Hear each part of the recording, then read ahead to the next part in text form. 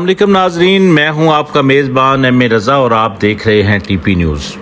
नाजरीन हम लोग आपको हाउसिंग प्रोजेक्ट्स और मुख्तलिफ़ जो पाकिस्तान के अंदर बड़े रोड्स बनते हैं, उनकी तफसीलात से आपको हमेशा आगाह रखते हैं। आजकल हुकूमत के मामला कुछ उलझे हुए हैं, सुप्रीम कोर्ट के साथ मामला चल रहे हैं, लेकिन फिर भी जहाँ तक हो सकता है, हम आपको अवेयर करने की पूरी कोशिश करते हैं। आज की जो खबर है, वो रावलपिंडी डेवलपमेंट अथॉरिटी ने सच में एक बहुत बड़ा मेगा ऑपरेशन किया है। सच में मैं इसलिए कहूँगा कि बहुत सारे लोग ये सोचते हैं कि शायद इदारे पूरी तरह परफॉर्म नहीं करते। लेकिन इस बार जो आर ने ऑपरेशन किया है जितना बड़ा नुकसान इन गैर कानूनी सोसाइटियों को उन्होंने किया है उसकी ना सिर्फ़ आपको तस्वीरें दिखाएँगे बल्कि तफसीलात भी बताएँगे कि वो कौन कौन सी सोसाइटियाँ हैं। इससे पहले कि आप आ, हमारी जो ये ख़बर है इसकी तफसील की तरफ़ जाएँ आप चैनल को लाजम सब्सक्राइब किया कीजिए साथ में लगा बेल आइकन भी दबाया कीजिए ताकि हमारी कोई भी इंफॉर्मेटिव वीडियो आती है तो उसके नोटिफिकेशन आपको मिलते रहें।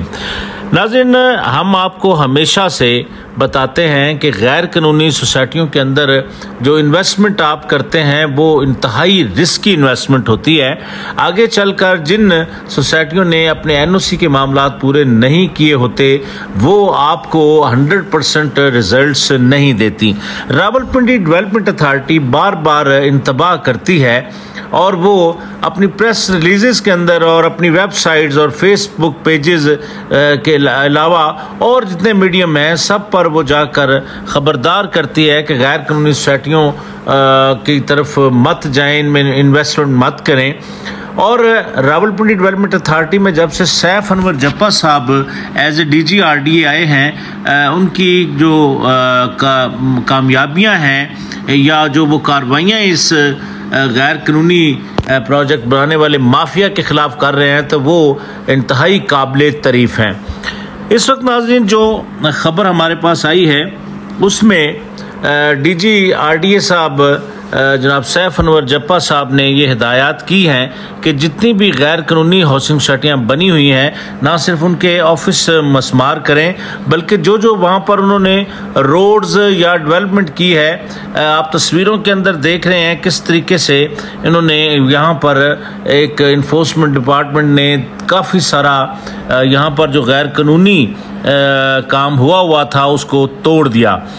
अब हम चलते हैं कि इस, यानी नाम, इन्होंने इस्लामाबाद के रखे हैं, लेकिन जुरिस्टिक्शन जो है वो रावलपिंडी की है। तो इसमें जो सोसाइटी है पहली जिसको तोड़ा फोड़ा गया है, जहाँ पर इन्फोर्समेंट डिपार्टमेंट जो आरडीए का है, उसने कार्रवाइयाँ की, वो है इस्लामाबाद मरीना सिटी।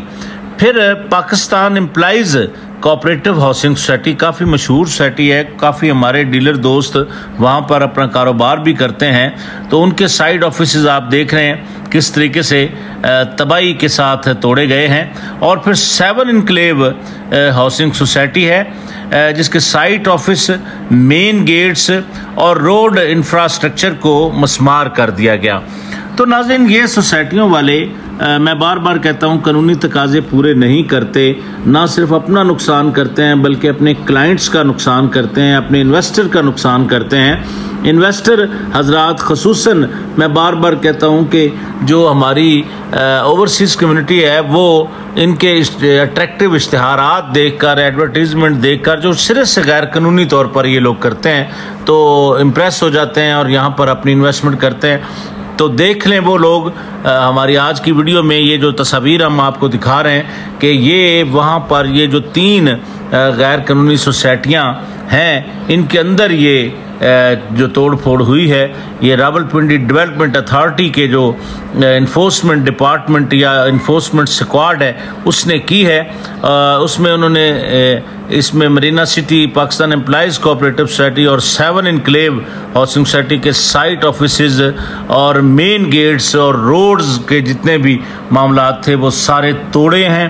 और इसमें ख़बरदार भी किया और कोशिश होती है इदारों की कि वो आ, मतलब इनके ख़िलाफ़ कानूनी कार्रवाइयाँ भी करें। लेकिन फिर जब इदारों के अंदर बात जाती है तो ये लोग इतने पावरफुल हैं कि फिर किसी न किसी तरह ये अपना मामला सीधा कर लेते हैं। तो बहरहाल नाजिन इस वक्त जो डायरेक्टर मेट्रोपॉलिटन ताहिर म्यू साहब हैं वो इस वक्त बहुत भरपूर तरीके से डीजी साहब की हिदायत के मुताबिक काम कर रहे हैं और तोड़ फोड़ करवा रहे हैं इन गैर कानूनी प्रोजेक्ट्स की, जो कि एक बड़ा अच्छा साइन है। बहरहाल, हमारी भी कोशिश रहती है कि अपने नाजरीन को आगाह रखें कि जो गैर कानूनी प्रोजेक्ट हैं, उसके अंदर आप लोग क्यों रिस्क लेते हैं? क्या ज़रूरत है ऐसे प्रोजेक्ट्स के अंदर रिस्क लेने की, जहाँ पर आपका सरमाया महफूज ही ना हो? बहरहाल नाजिन एक बहुत अच्छा इकदाम है रावलपिंडी डेवलपमेंट अथार्टी की टीम का जिसकी क्यादत जनाब सैफ अनवर जप्पा साहब कर रहे हैं, जो कि डी जी हैं रावलपिंडी डेवलपमेंट अथार्टी के। तो ताहिर म्यू साहब, उनकी टीम बेहतरीन इस वक्त परफॉर्म कर रही है। तैर मेव साहब की जो अंडर सुपरविजन है तो उसमें जो इन्फोर्समेंट डिपार्टमेंट है, वो इस वक्त भरपूर तरीके से इस माफिया के ख़िलाफ़ एक जंग लड़ रहा है। तो जिसका सिरा लाजमी बात है। डीजी साहब के सर जाता है, जो कि बार बार इसको मॉनिटर कर रहे हैं और चेक भी कर रहे हैं। तो बहरहाल अपनी जो मेहनत से कमाई हुई दौलत है, उसको महफूज करने के लिए कोशिश कीजिए कि जिस तरह इदारे आपको हिदायत देते हैं, आप उस पर अमल करें। अगर तो कोई कानूनी प्रोजेक्ट है तो उसमें कोई कबात नहीं है, आप उसमें इन्वेस्टमेंट करें। लेकिन अगर गैर कानूनी है, उसकी कोई हैसियत है तो उसमें आपका जो सरमाया है वो हरगज़ महफूज नहीं है। तो आज के लिए बारह नाजरीन इतना ही। तो इसी तरह की नई इन्फॉर्मेटिव वीडियो के साथ आपकी खिदमत में एक बार फिर हाजिर होंगे। नई वीडियो के आने तक के लिए अपने मेज़बान एम रज़ा को इजाज़त दीजिए। अल्लाह हाफिज़।